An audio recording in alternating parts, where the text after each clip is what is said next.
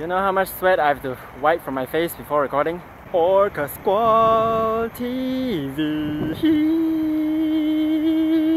Musical Melody. I've been listening to some internet radio stations and they've always got some kind of intro to their station. I listened to a Swedish one, Dansbandskanalen, and a Polish one. I can't remember his name. Polska Stacja. And the cicadas are very happy to see you. Hey neighbor, my name is Vincent and today I'm going to introduce a segment called Vinswers, which is short for Vincent Answers, which is short for Vincent tries to answer your questions to the best of his abilities, but no guarantees.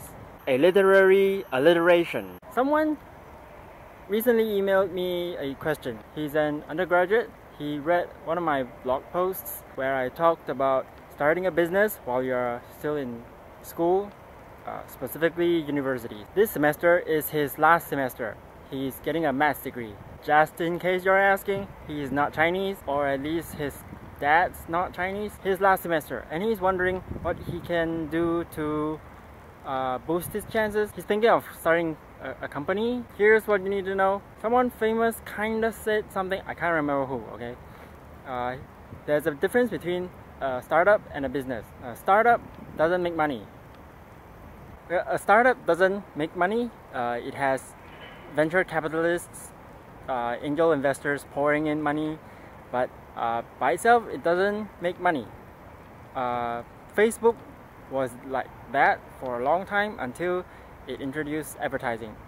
Now a business uh, makes money from day one. Business offers products or services that people are willing to pay money to you in exchange for that product or service. So that's the difference. If this river floods, I'll be completely submerged. I can't tell you what is the best option for you, whether starting a company or finding a job after you, you graduate. Suggest that you explore your options.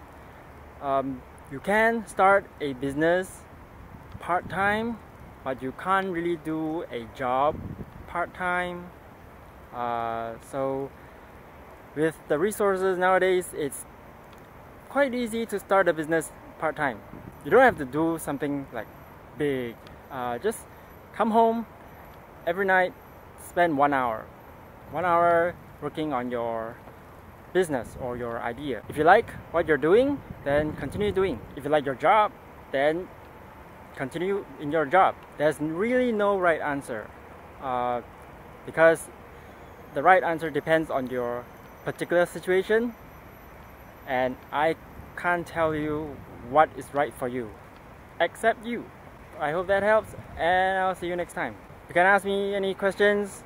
Uh, I have a Tumblr, I have Twitter.